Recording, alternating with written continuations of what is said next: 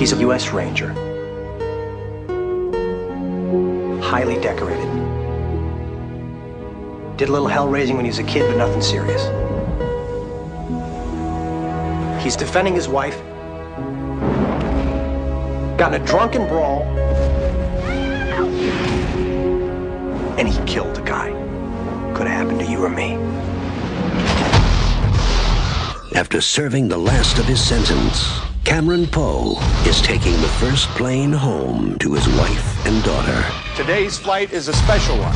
We're populating Louisiana's Feltum Penitentiary. These guys are the worst of the worst. See a lot of celebrities among us. I see 11 primetime lives, three Regis and Kathie Lees, and a genuine 20/20 interviewee. What you looking at, punk?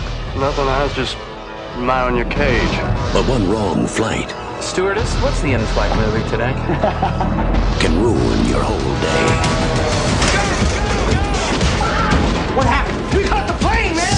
Welcome to Con Air.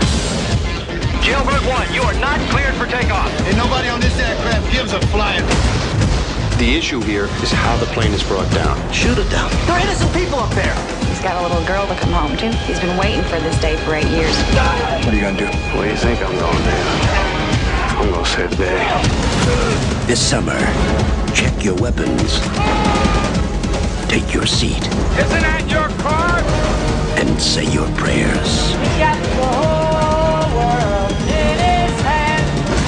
Jerry Bruckheimer, the producer of The Rock, Nicolas Cage, John Cusack, John Malkovich, Where are they gonna land this thing?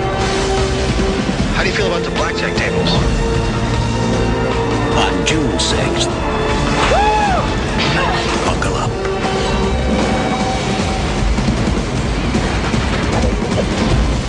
Con Air.